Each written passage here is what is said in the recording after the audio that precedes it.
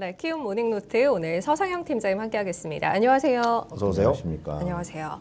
뉴욕장 낙폭이 꽤 컸어요. 주요 지수 모두 다 거의 저점에서 마무리를 했고 지금 시간에서도 추가 하락이 좀 나오고 있어서 분위기에 대해서 좀 짚어봐야 할 것 같네요. 도망가야죠. 어, 도망가야 음. 돼요. 어디 게임스탑으로? 게임스탑으로 AMC. AMC로. 음, 일단은 몇 가지가 좀 있었어요. 그러니까 하락을 했던 요인들은 찾아보면 네. 결국은 파는 사람들이 많았기 때문에 빠진 거고요. 뭐 당연한 거겠죠. 그렇죠. 그러면 그 사람들이 뭘 보고 이렇게 움직일까? 그렇죠. 자 어제 어, 기업들의 실적 발표를 좀 곰곰이 생각을 해보면 네. 자, 그 램 리서치라는 회사가 있어요. 음. 반도체 회사인데, 햄리스. 예, 램리스 회사인데 이제 뭐 이 램리서치 실적이 정말 잘 나왔어요. 음. 그런데도 불구하고 급락을 했습니다. 시간으로. 음. 왜? 뭐 반도체 산업 정말 좋아지고 뭐 낸드도 좋아지고 뭐 다들 좋아진다고 하는데 실적도 잘 나왔고 가이던스도 뭐 잘 나왔고 근데 왜 이렇게 빠졌을까? 근데 이제 거기에서 시장에서 우려하고 있는 건 그겁니다. 그러니까 그 디램 가격이 올라간다라는 것들은 이제 뭐 드러나 있는 사실이잖아요. 그렇죠. 어, 그러다 보니까 시장에서 그 미리 땡겨서 그 사놔 가지고 음. 얘네들의 실적이 크게 개선이 됐다라고 전망을 그 분석을 하는 기사가 그러니까 이제 그 반도체를 수요하는 업체들이 반도체를 미리 땡겨서 그 네, 재고로 재고를 가져다. 재고를 많이 음. 쌓아놨기 때문에 뭐 그러다 보니까 향후 가이던스가 좋다고 하더라도 뭐 지금 실적이 좋다고 하지만 그걸 가지고 정말 좋게 해석할 필요는 없을 것 같다. 그러다 보니까 시장은 그 실적이 잘 나온 종목들도 매물이 쏟아지기 시작합니다. 음. 전반적으로. 그러니까 그동안 많이 올라간 종목들 중심으로 해서 매물이 확대됐다라고 보시면 될 것 같고요. 네, 두 번째는 지난 저 엊그저께 26일 날 우리나라 주식 시장이 한 2% 빠졌죠. 네. 그때 이제 뭐 여러 가지 요인들도 좀 있었지만 그때 화- 홍콩 항생도 한 2% 정도 빠졌었어요. 음. 왜 그러냐면 15금리 급등. 음.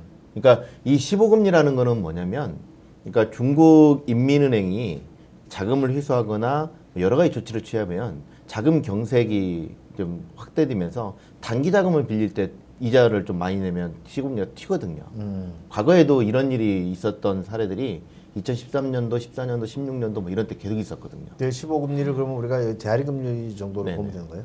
그렇죠. 이제 은행 간 이제 음. 단기 금리라고 보시면 네. 돼요. 근데 이제 이 15금리가 튀었다. 어, 근데 이러다 보니까 인민은행의 발언들에 대해서 사람들이 고민을 하기 시작합니다. 지난 11월 달에 물을 더 이상 막 무- 마구 마구 퍼붓지 않겠다. 음. 음. 그 다음에 뭐 12월 달에는 내년도에는 그 신용 용자를 뭐 우리가 생각했던 것보다 좀 느리게 좀 축소할 수 있다라는 발언들도 하죠. 김쪽이 미국- 씨가 미국식 표현으로 보면 테이퍼링 하겠다는 얘기죠. 그렇죠. 이제 그런 내용들이 나왔었어요. 이미 11월 달, 12월 달에 이민은행에서는 그와 관련돼서 언급을 했었고 네. 그러면서 이제 그 그때 당시 이제 계속적으로 인민은행에 어 중국이 긴축을 그러니까 어차피 중국은 경제 성장률이 크게 이제 개선이 되고 있다 보니까 이제 그런 내용들이 이제 부각이 되기 시작했었고요. 뭐 물론 이제 뭐 시장이 좀 문제가 좀 생기니까 이민은행은 곧바로 이제 뭐 아니다 계속적으로 유지를 할 거다라고 언급을 하면서도 이번 주 들어서 얘네들이 유동성을 회수해 버립니다. 아, 그러면서 이제 15금리가 튀었는데 뭐 크게 튄 건 아니고요. 한 20bp면 엄청나게 튄 거나 튕기 튀기 튀기는 했지만 뭐 과거에 뭐 100bp 뛰고 150bp 뛰고 이런 거하고는 다르죠. 음. 이제 한마디로 말해서 그러니까 차익 매물을 내놓기 위한 하나의 빌미가 됐다라고 보시면 돼요. 음. 그리고 실질적으로 2013년도 때도 5월 달에 그때 이제 버냉키 연준 의장이 테이퍼링 언급을 네. 했었고 6월 달에 그 15금리가 150bp 팍 튀면서 음. 시장이 잠깐 조정을 본 적이 있었는데 그때도 잠깐 봤다가 바로 곧바로 다 회복을 했어요. 음. 그러니까 그 전반적으로 긴축은 그렇게 뜬금없이 나오진 않는다. 경기가 회복되고 기업 실적들이 좋아지면 대체적으로 빠질 때 다시 반등을 주는 그런 경향들이 과거에도 계속 있어 왔었거든요. 음. 그렇기 때문에 하나의 그냥 빌미가 됐다라고 보시면 될 것 같고요. 음. 음. 또 하나 GameStop.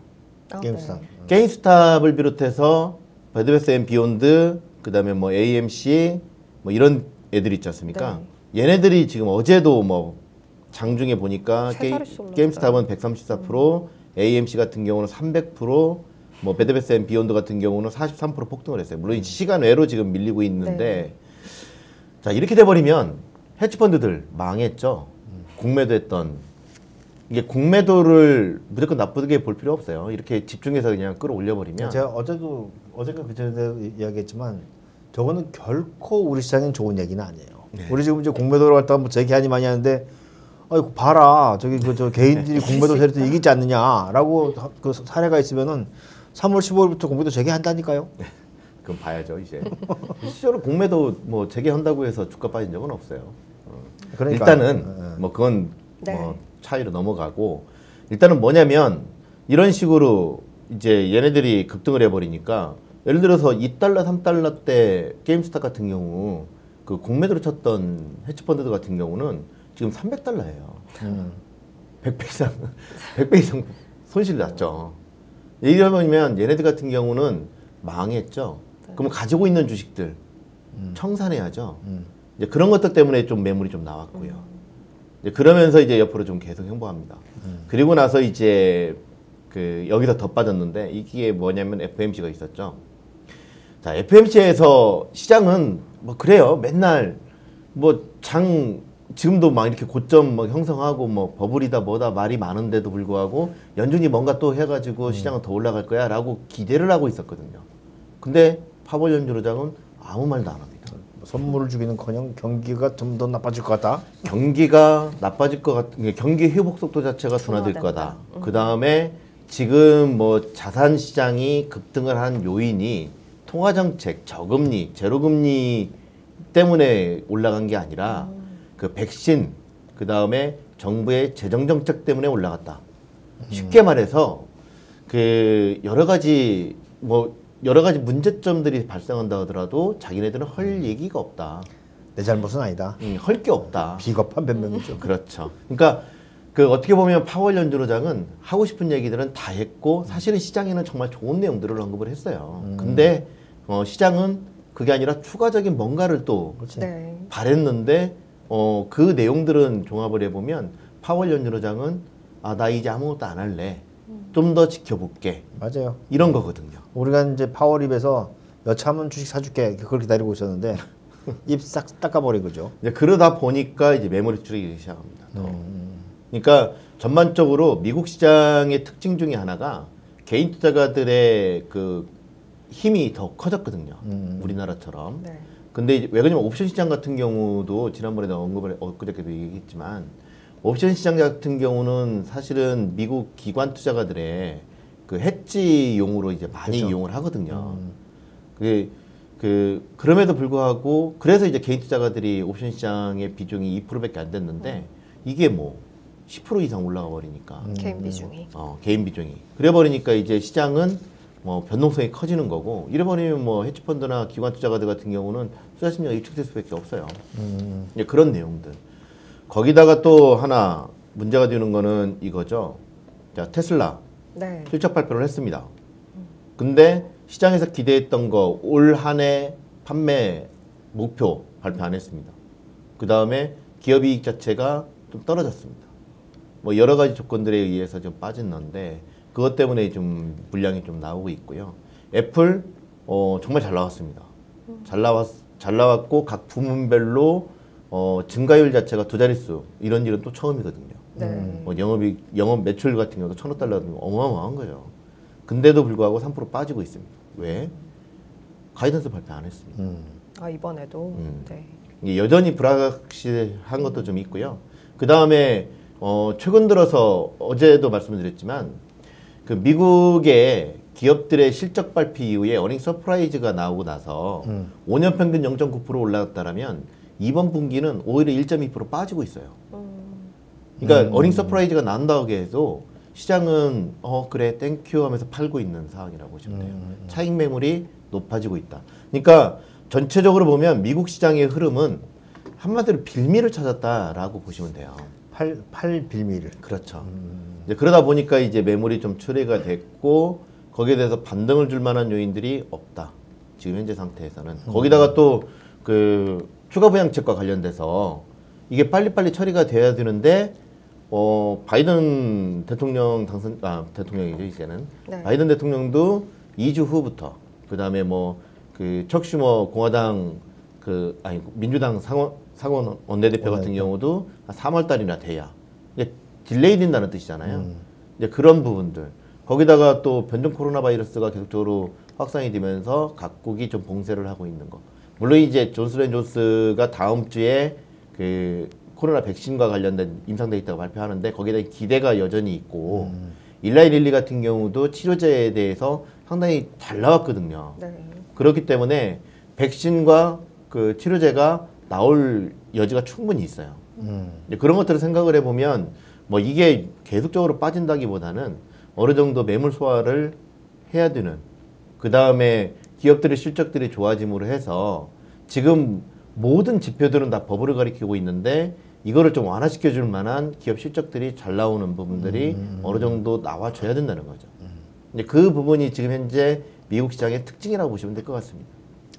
원래는 이제 기업 이익이라고 하는 분모가 커져야 커져서 valuation 낮춰주는 게 제일 좋은데 음. 그렇지 않고 이제 분자가 작아지면서 valuation을 갖다 조정하는 이런 국면이 되면 아파요. 네, 둘다다 이제 진행이 될 수도 있어서 음. 지금은 좀 더 지켜봐야 될 것 같고요. 네. 그러면 우리나라 같은 경우도 네. 마찬가지라고 봐야 돼요.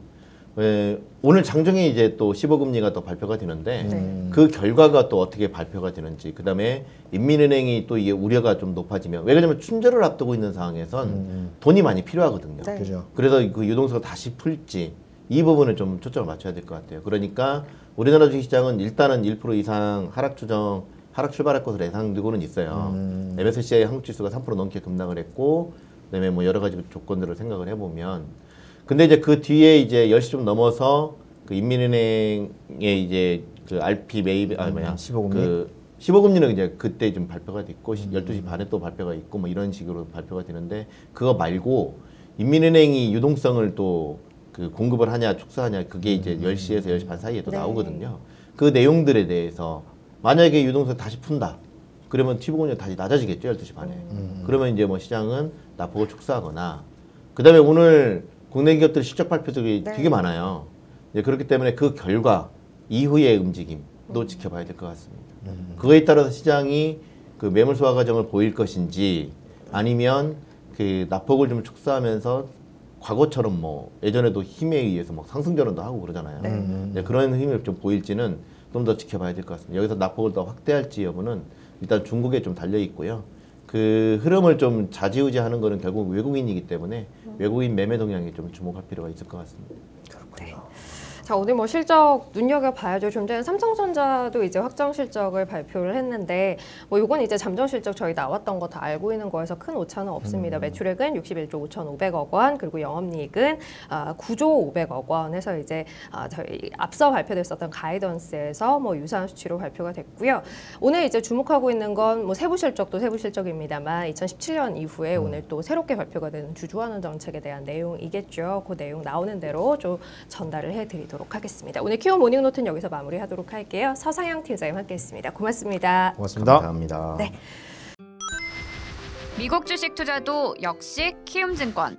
40달러 받고 미국 주식 키움증권에서 시작하세요. 투자 시 원금 손실에 유의하세요.